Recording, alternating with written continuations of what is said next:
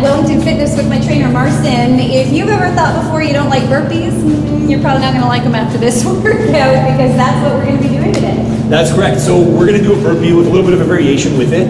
But what this is for is people who are at home, um, you just want something quick on the go and you want something really high energy, high blast that's going to burn calories and fat at the same time.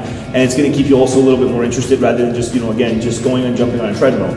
Um, what this is going to be is you're going to do 20 seconds. It's a Tabata style training, which what that means is you're doing 20 seconds, you're doing the workout, and then 10 seconds, you're taking a break. I like then, the break part. Then you're doing 20 seconds and 10 seconds, and you're going to do a total of 10 rounds. So again, it doesn't take very long, but believe me, this will definitely get your heart going, right? So especially something in the morning, right in the morning, first thing, get going. It's a great workout. We should also point out that there are apps that you can get on your phone that are Tabata apps, and they'll actually do the counting down for you. That is correct. So you'll actually be able to just put your phone on the ground, and it will actually count down the 20 seconds, and you'll know it's going to start to beat. You get your 10 second break, and then it will uh, cue you to start again. So we'll be able to go back and forth. I think I've put it off long enough. Okay, here we go. We will pretend I have uh, 20 seconds. And make sure you count that 20 Yep. seconds. And I'm doing the full Full push-up. push-ups. You're going to do a, a burpee with a push-up. All right.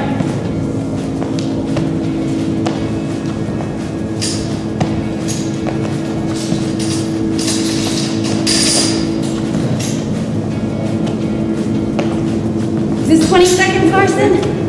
I think so. there. And then you get a 10 second break. And then you'll just take the 10 second break, right back at it again for another 20 seconds, continuously, a total of 10 rounds. I'm telling you, this one will absolutely get you out of breath.